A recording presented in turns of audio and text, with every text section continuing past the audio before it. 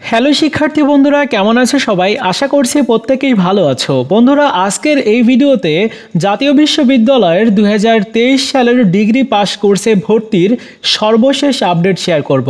অর্থাৎ তোমরা যারা ইতিমধ্যে আবেদন করেছ, তোমাদের এখন করণীয় কি রয়েছে এবং তোমরা প্রথম মেধা তালিকার ফলাফল কবে দেখতে পারবে, কলেজের চূড়ান্ত ভর্তি কবে থেকে শুরু হবে, কতজন শিক্ষার্থী আবেদন করেছে এবং যারা আবেদন করতে পারোনি, আবেদনের শেষ তারিখ কবে, আবেদন ফি কবে নাগাদ জমা দেওয়া যাবে? মানে এই নিয়ে বিস্তারিত আলোচনা করব।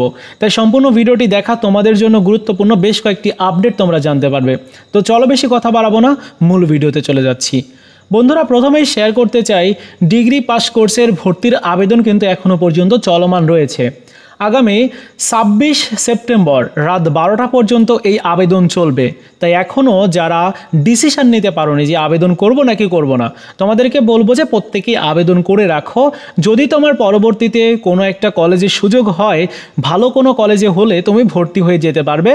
এজন্য তোমার আবেদন করে রাখা উচিত। আর আবেদন ফি জমা দেওয়া যাবে সাতাইশ সেপ্টেম্বর পর্যন্ত।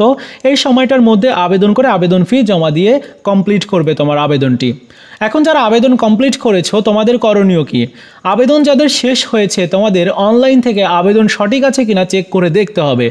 আবেদন সঠিক আছে কিনা চেক করার জন্য প্রথমে ন্যাশনাল ইউনিভার্সিটির এই অ্যাডমিশন রিলেটেড ওয়েবসাইটটিতে আসবে।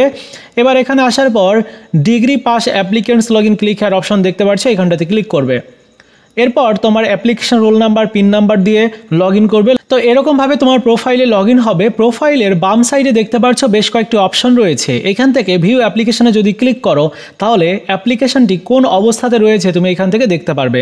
যেমন এই শিক্ষার্থীর আবেদনটি স্ট্যাটাসে দেখানো হচ্ছে যে শুধুমাত্র সাবমিটেড করা হয়েছে। মানে আবেদনটি করা হয়েছে এখনও পর্যন্ত কলেজ কর্তৃপক্ষ আবেদন গ্রহণ করেনি। যাদের আবেদন গ্রহণ করবে, তাদের এখানে সাবমিটেড লেখার পরিবর্তে আসে, লেখা থাকবে রিসিভ হ্যাঁ রিসিভ যাদের লেখা রয়েছে, তাদের এখন ওয়েট করতে হবে ফলাফলের জন্য বা কলেজে চূড়ান্ত ভর্তির রেজাল্টের জন্য। আর যাদের সাবমিটেড লেখা রয়েছে, তোমরা যদি কলেজে কোনো ডকুমেন্টস জমা না দাও বা আবেদন ফি জমা না দাও, তাহলে নির্দিষ্ট যে সময় রয়েছে, আগামী ছাব্বিশ সেপ্টেম্বর, ওই সময়টার মধ্যে কলেজে প্রত্যেকটি তথ্য বা তোমার ডকুমেন্টস এবং টাকা পয়সা জমা দিয়ে দিবে ওকে তাহলেই তোমার এখানে রিসিভ লেখা আসবে। যদি সাবমিটেড লেখা এরকমই থাকে, তাহলে কিন্তু তোমার আবেদন বাতিল করে দেওয়া হবে।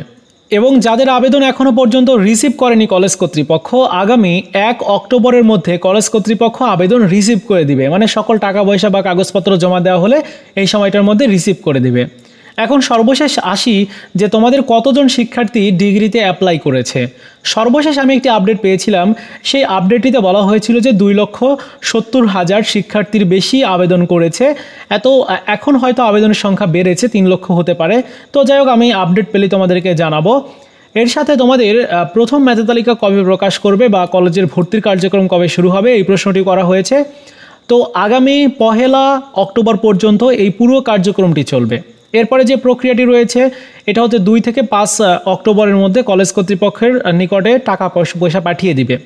তো এই যে সময়, এই সময়টার মধ্যে তোমাদের প্রথম মেধা তালিকার নোটিশ প্রকাশ করবে। মানে দুই তারিখ থেকে পাঁচ তারিখের মধ্যে নোটিশ প্রকাশ করবে এবং তোমাদের অক্টোবর মাসের প্রথম সপ্তাহেই প্রথম মেধা তালিকার ফলাফল প্রকাশ করবে। এবং ফলাফল প্রকাশের নোটিশ আমি পেলেই আমি তোমাদেরকে দেখিয়ে দিব আর এই সংক্রান্ত আপডেট পেলেও আমি তোমাদেরকে জানাব। ওকে আর কলেজের ভর্তির কার্যক্রম যেদিন ফলাফল দেওয়া হবে তার পরের দিন থেকে শুরু হবে। ওকে তো বন্ধুরা, এই ছিল আজকের মতো ভিডিও ভালো লেগে থাকলে লাইকস কমেন্টস এবং অবশ্যই বন্ধুদের সাথে শেয়ার করে দিবে।